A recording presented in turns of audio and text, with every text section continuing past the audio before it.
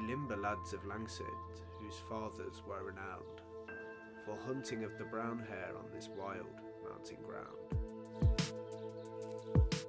You may deem them homely fashioned, their simple life decry, but they lived a happier span, lads, than either you or I.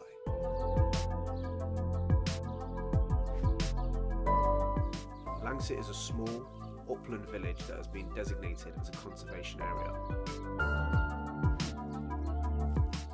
Is located in the valley of Little Don, or Porter River, within the South Riding of Yorkshire.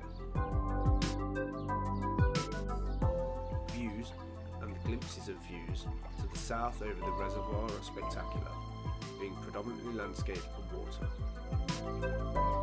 These have a strong effect on the overall character and the setting of Langsett, which is provided by a mixed landscape of open field to the north, woodlands to the west, and the expansive reservoir to the south, over hundred square miles of moorland stretch away to the south and the west.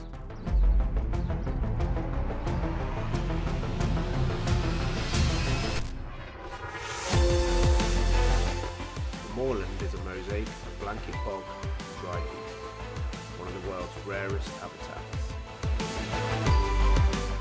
Langsett Reservoir dam the Little Don River, which runs through the valley where Langsett is situated.